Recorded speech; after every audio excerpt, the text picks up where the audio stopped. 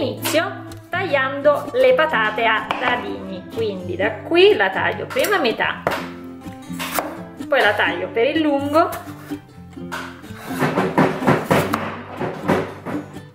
dopodiché vado a tagliare le dadini. Dopo aver tagliato le patate, taglio lo scalogno a rondelle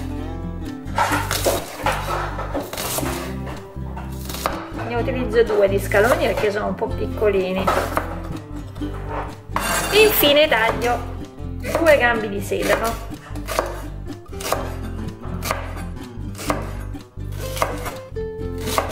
Eccoli pronti dopo aver preparato tutti gli ingredienti metto a riscaldare in una pentola dell'olio extravergine d'oliva con lo scalogno che abbiamo tagliato a rondelle. Adesso aspetto che si scaldi un po' l'olio. Appena l'olio sarà un po' caldo aggiungo un um, po' di pomodoro. Io avevo già in frigo questo um, pomodoro pelato che sono andata a schiacciare con la forchetta ma uh, giusto un cucchiaio pochissimo. Potete anche aggiungere le patate.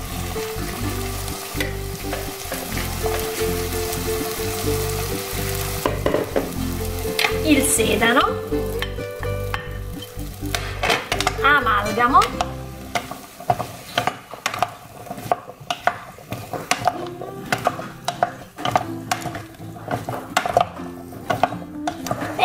che si insaporiscano un pochino per qualche minuto coprendo. Dopo qualche minuto, dopo aver lasciato insaporire bene le patate, vado ad aggiungerci dell'acqua oppure del brodo. Fino a ricoprire le patate e le cipoglie. Ok. Amalgamo a questo punto vado anche a sistemare di sale amalgamo bene tutto.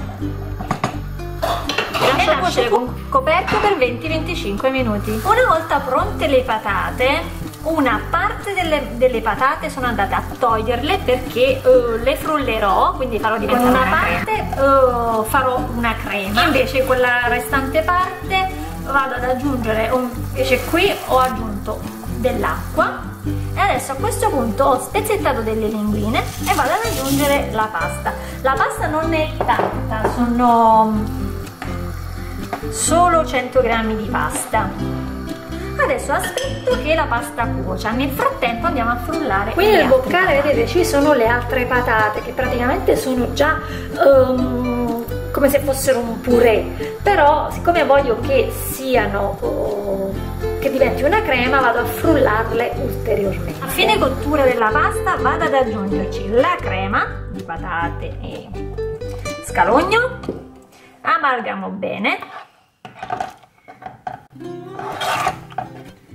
E per finire vado ad aggiungerci dei dadini di formaggio. Io sto usando del formaggio piccante se voi volete potete utilizzare la provola. Amalgamo bene il tutto per far sì che il formaggio si sciolga ed eccola qui la mia pasta e patate con provola super cremosa e filante e pronta per essere gustata. Guardate che meraviglia. Vi assicuro che è una vera delizia. E niente ragazzi io spero che questa ricetta vi sia piaciuta. Se provate a farla scrivetemi tutto nei commentini oppure taggatemi in Instagram con le vostre foto. Io vi mando un bacio a presto